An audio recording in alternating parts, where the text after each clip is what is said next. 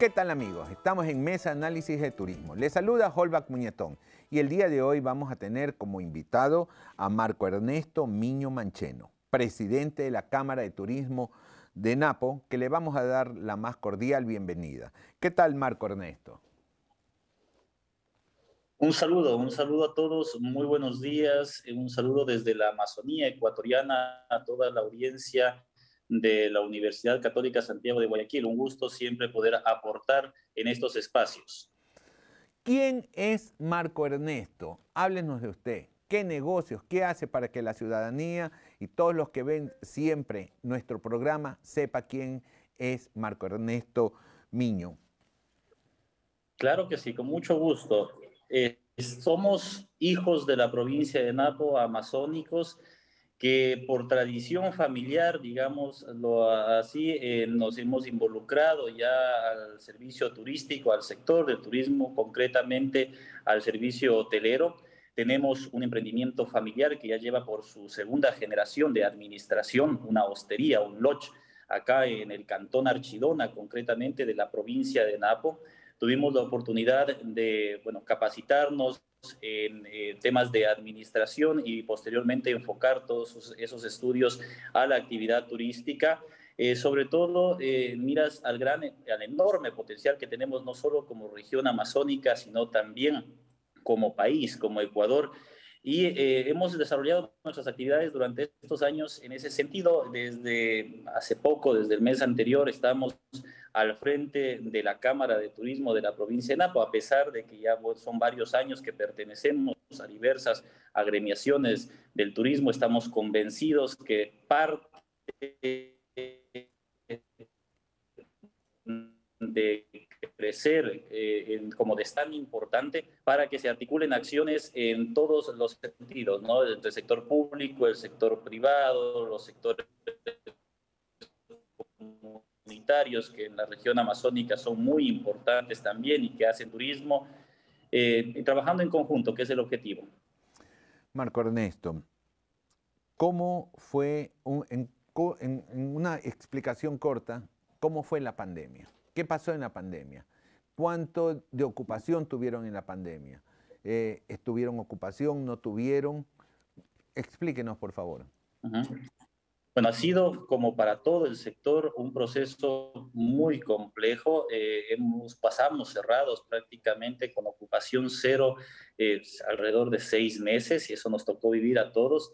Este eh, tema de la pandemia, la emergencia sanitaria, lo primero que dificultó fue la movilidad de las personas. Ustedes saben muy bien, el turismo vive precisamente tratando de promover esa movilidad entre eh, países, entre provincias, tanto el turismo externo como el internacional, con mayor razón, eh, cayó a, cero prácticamente, no es que disminuyó, cayó a cero. Eh, a pesar incluso de las circunstancias que vivimos acá en la provincia de Napo, eh, tuvimos la gran ventaja, la enorme ventaja de ser la última provincia en presentar casos y hasta el día de hoy siempre eh, las estadísticas han sido favorables para nuestra provincia en ese sentido, ¿no?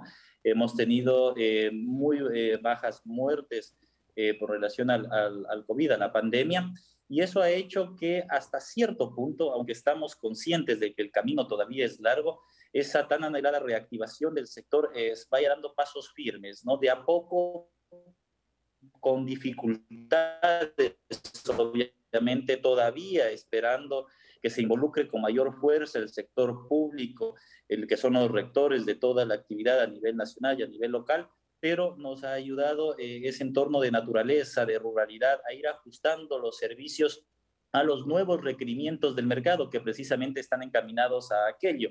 Hay una ventaja también que se reflejó durante la pandemia y es que nosotros estuvimos un poco atrás en los contagios y veíamos, podíamos ver lo que se estaba haciendo, lo que se estaban implementando, los protocolos que iban saliendo en países como España, como México, que vivieron eh, primero toda esta situación, como Italia, que recordarán, fue donde se, se vivió de manera muy dramática eh, el tema de la pandemia y en donde también la actividad turística es muy importante. Entonces nos íbamos ajustando porque sabíamos que todo eso iba a llegar acá al, país y que iban a comenzar a, a, a, ver protocolos internos, pero que seguramente no iban a, a, distar mucho de lo que se estaba haciendo a nivel mundial y efectivamente ocurrió así. Eso nos permitió ganar tiempo, sobre todo comenzar a capacitar al personal en ese sentido, capacitarnos y, y aprender nuevamente también nosotros como servidores turísticos. Y eso se va reflejando y son cosas que se van cosechando ya al, día de hoy que de a poco vamos viviendo una reactivación del sector.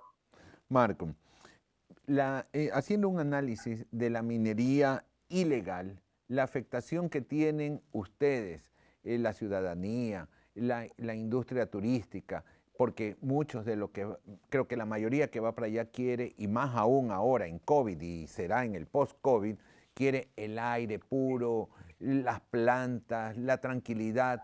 ¿Cómo les está afectando la minería ilegal? Sí, sí, estimado Holbach, esa fue una de las noticias que puso en todos los medios de comunicación a la provincia de Napo, al nombre de la provincia de Napo, y evidentemente al ser una provincia donde el turismo es muy importante precisamente por lo que acabas de mencionar, el tema paisajístico, la naturaleza, hay un impacto directo.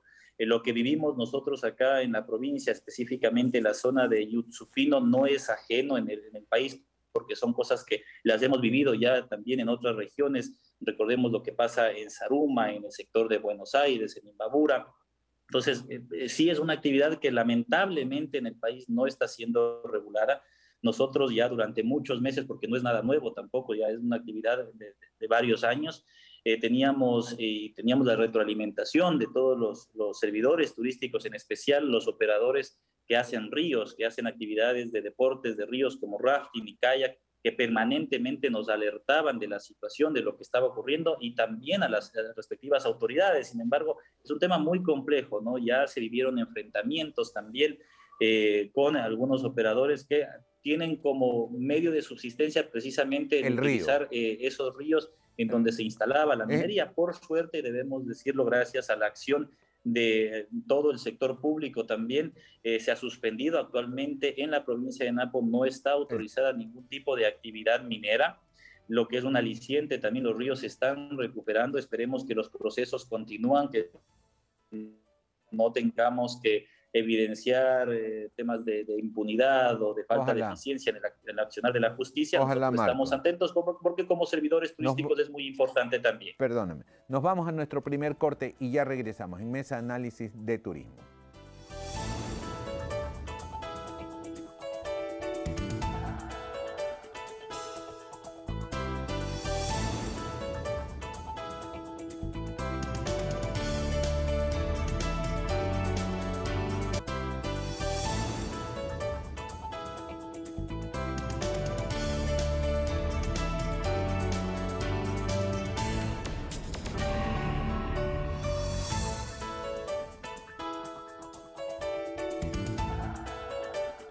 ¿Qué tal amigos? Estamos de regreso en Mesa Análisis de Turismo con Holbach Muñetón y tenemos como invitado a Marco, a Marco Miño, quien es el presidente de la Cámara de Turismo de Napo. Marco, ahora que vemos nosotros que se está regulando o se está controlando la minería ilegal, esto ha dado pie a que el turismo tenga un auge mayor en lo que tú hablabas, los kayaks, los rápidos, ir por los ríos, que es parte de lo que la gente cuando va allá busca o qué más busca el turista nacional y extranjero cuando va al Napo. Es, eh, Jorge, efectivamente, mira, no muy distante de donde me encuentro en este momento, tenemos el patio en donde están toda la maquinaria que ha sido al momento incautada. Estamos hablando de ya de más de 100 retroexcavadoras, entre otra maquinaria, hay varios millones de dólares que se encuentran en ese lugar y que estaban trabajando en la minería ilegal a la vista y paciencia de las autoridades. Por suerte ya se actuó y es momento de otras actividades productivas, como por ejemplo la del turismo, sí, en tomarse nuevamente todas esas zonas que quedaron un poquito aisladas y en la actividad turística, ¿no? que además es una actividad amigable con el medio ambiente, una actividad que está en, en, eh, en, en miras del de desarrollo sustentable, que es tan importante en entornos como el nuestro, el de Amazonía. Marco, Eso ha llamado la atención eh, también del turista nacional eh, y que nuevamente puede retornar a esos espacios. Marco. Tenemos acá en la provincia un sinnúmero de balnearios naturales, Marco, recorridos de naturaleza que se puede hacer y Diga.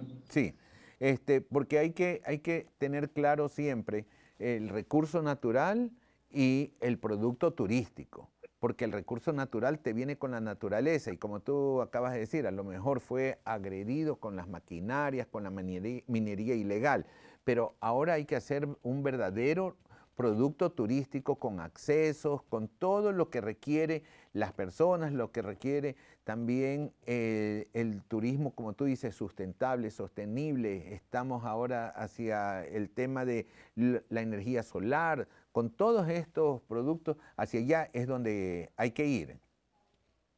Así es, y ese es un trabajo de responsabilidad conjunta, ¿no? Eso hay que recordarlo siempre. Necesitamos buscar la manera de poder articular todas esas actividades. Si bien eh, el servicio turístico, la operación turística depende fundamentalmente del servidor privado y comunitario, ese apoyo de las entidades del sector público, de los diferentes GATS, del mismo ministerio, es importantísima para que se genere ese entorno de desarrollo necesario. Y estamos trabajando en eso. Te comento, por ejemplo, se está, sabemos que se está trabajando actualmente en la actualización del plan de desarrollo turístico de la provincia de Napo y tenemos ahí la participación, eh, dicho sea de paso, de un grupo muy conocido a nivel nacional, con mucha experiencia y que son precisamente de la provincia del Guayas.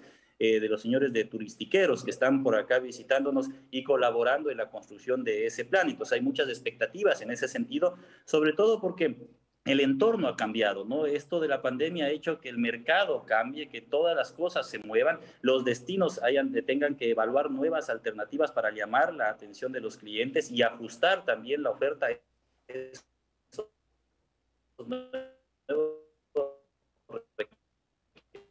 Bueno, eh, eh, es, importante, como dice Marcos, eh, las cosas van cambiando.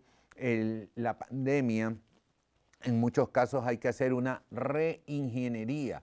Y, y, eso hemos pedido, hasta hacer una reingeniería desde el ministerio, porque hay cosas, solamente en detalles, antes que íbamos a pensar llegar a un lugar y que nos exijan una mascarilla, que nos tomen la, la temperatura, que nos den gel, alcohol, y, el distanciamiento, el aforo, las cosas cambiaron. Por eso hay que hacer una reingeniería. Hay costumbres que han cambiado.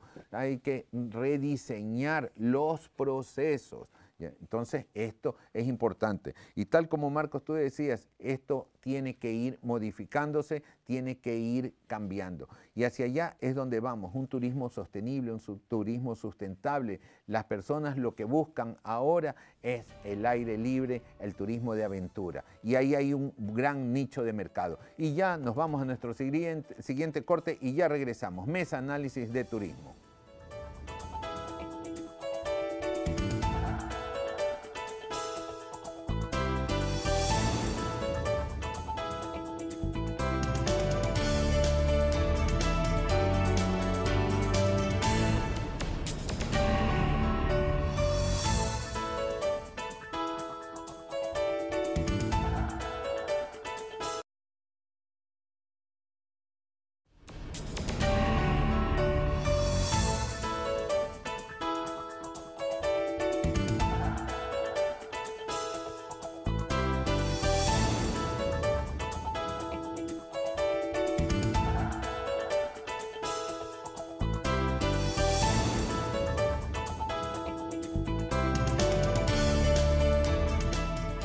¿Qué tal amigos? Estamos de regreso en Mesa Análisis de Turismo con Holbach Muñetón y el día de hoy tenemos a Marco Ernesto Miño Mancheno, quien es presidente de la Cámara de Turismo del Napo. Marco, hemos tocado algunos temas. ¿Cómo ves el futuro de Napo? ¿Cómo ves el futuro del turismo con pandemia y post pandemia? Todavía incierto y yo, sinceramente, todavía tengo mucha expectativa de lo que pueda ocurrir porque todavía existen eh, tornillos que no se han ajustado en esta lucha por la reactivación turística. Necesitamos mayor involucramiento por parte de, eh, por ejemplo, el sector público, eh, que es importante que esté presente. Necesitamos establecer una mejor estructura gremial también dentro de cada una de las provincias y a nivel país. Se necesitan fortalecer todas las asociaciones de turismo, los gremios, como la, Cámara, que estamos haciendo un excelente trabajo en ese sentido, pero es importante hacerlo más y mejor todavía con el resto de compañeros, eh, sobre todo recordando que los ámbitos del turismo son múltiples, no son muchos los espacios, tenemos empresas específicas de transporte, de operación, de alojamiento, de restaurantes, de diversión nocturna. es importante hablar el mismo idioma entre todos para poder articular acciones. Eh, sabemos, sabemos, estamos muy conscientes del enorme potencial que tenemos como país recordando siempre que todos los países en el mundo comienzan desde cero en esta, eh, esta carrera por la reactivación y es nuestra responsabilidad el dar pasos cada vez más grandes para posicionarnos eh, de manera correcta eh, en, los mercados turísticos a nivel mundial. ¿no? Veíamos hace un par de semanas el anuncio que se hacía, por ejemplo, por parte del Ministerio en el sentido de que se hizo el lanzamiento del nuevo plan de promoción turística, que está muy bien eh, se anunciaban cerca de 47 millones de dólares de inversión en este sentido en los próximos años. Perfecto, pero...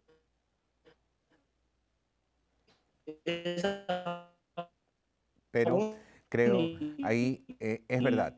Son, suficiente, miren país, pero necesitamos todavía trabajar en ese sentido. Perdón, ahí se cortó Marco. Está bien los 47 millones de dólares mm, y quizás creo que ahí compartimos nosotros la misma visión tuya. Esto es como las rieles del tren. Una, una riel no me funciona. Tienen que ser las dos rieles para que pase el tren. La promoción está muy bien, perfecto, 47 millones en todo el proceso de los cuatro años de gobierno.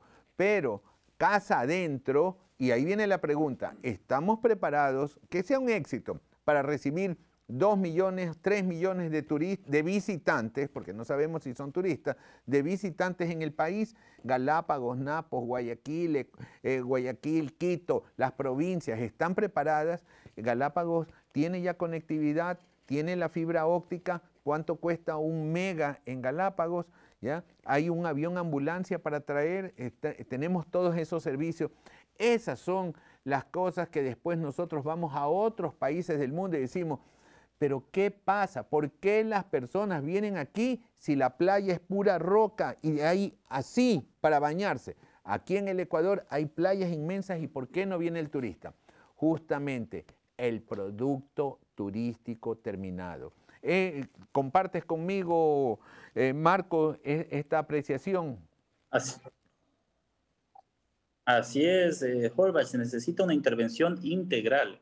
Miremos, por ejemplo, lo que está ocurriendo y el daño que le ha hecho al destino turístico las últimas noticias con relación a la seguridad que vivimos en el país, que no son temas eh, directos y específicos del turismo o que debe atender la actividad turística, pero que tienen un impacto directo.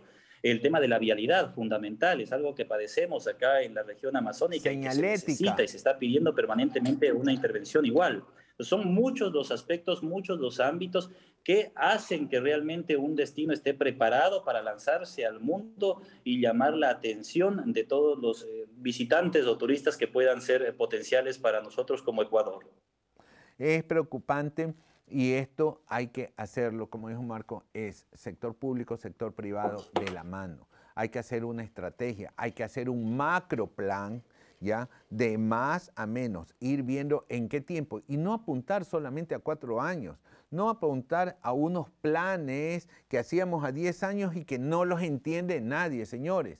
Hay que hacer plan que sean entendibles, que todas las cámaras, los presidentes, los empresarios puedan entender, comprender y asimismo uno pueda explicarse bien qué es lo que queremos, a dónde vamos a dónde apuntamos. De repente apuntamos a un mercado de China, está entrando el camarón en China, pero aquí no tenemos casino. El turista chino quiere ir de shopping y casino, son las dos cosas que buscan, shopping y casino. No tenemos ni shopping porque somos caros y no tenemos casino. ¿A qué van a venir? Entonces, todo eso tenemos que ser. Tenemos ahora eh, eh, eh, que viene, pasa la pandemia, ustedes tienen una oportunidad mucho más grande de la que tenían antes. Todo el mundo quiere ahora la libertad, el aire puro, la tranquilidad. ¿Tienen ustedes una estrategia para eso, Marco?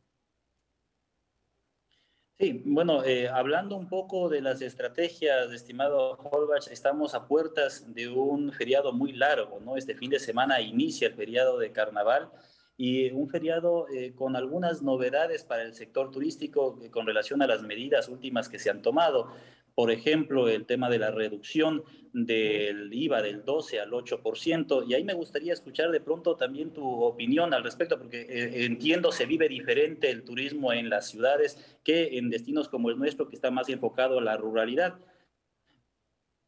Yo tengo en lo personal dos opiniones ahí, una efectivamente personal como representante gremial, bueno, puedo decir que todo suma, efectivamente, todo suma y todo va ayudando a la construcción del entorno ese de desarrollo del que hablábamos.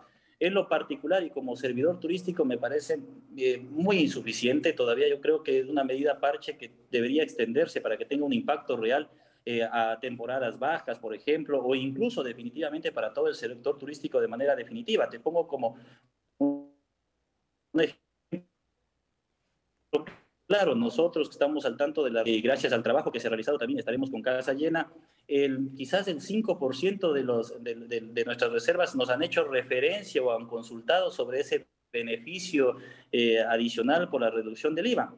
Al resto de personas les interesa otras cosas, eh, les motiva incluso otras cosas, eh, como por ejemplo los protocolos, como por ejemplo el entorno, la preparación que se tiene, los, las vías, cómo están, puedo hacer, no me voy a quedar en, derrumbos, no me voy a quedar eh, a, medio camino, que son cosas fundamentales, incluso diría yo más importantes que una pequeña reducción en, el valor eh, que van a pagar los turistas. Totalmente de acuerdo, Marco. Eh, comparto contigo al 100%. Lo hemos dicho, todo suma, hay que, no, uno no menosprecia los descuentos en Estados Unidos, se alegran por 15 centavos y aquí son 4%, pero hay que tener incentivos más agresivos. Así que, y así mismo más agresivos, y nos llegó el final del programa. Queremos agradecer a Marco Miño Mancheno, presidente de la Cámara de Turismo de Napo, felicitar por ese trabajo que estás haciendo y ya habrá oportunidad de hacer otro programa porque creo que se quedan muchas cosas pendientes para hablar porque es la oportunidad de ir saliendo adelante. Gracias, Marco. Muchas gracias también por el espacio. Nada más para cerrar, recordarles a todos quienes nos observan que no podemos decir que queremos lo que no conocemos. Hay que recorrer nuestro país, hay que internarse en todas las provincias y todas las regiones. Tenemos un país maravilloso mal haríamos en decir que amamos nuestro Ecuador, que nos sentimos con orgullo ecuatoriano si no conocemos lo que tenemos. Entonces, invitarles a recorrerlo, a visitar, aprovechemos este largo feriado, son cuatro días en que podemos hacer ese esfuerzo adicional por movilizarnos y de paso ayudar también a la reactivación de nuestro Ecuador. Muchísimas gracias, gracias Marcos y nos vemos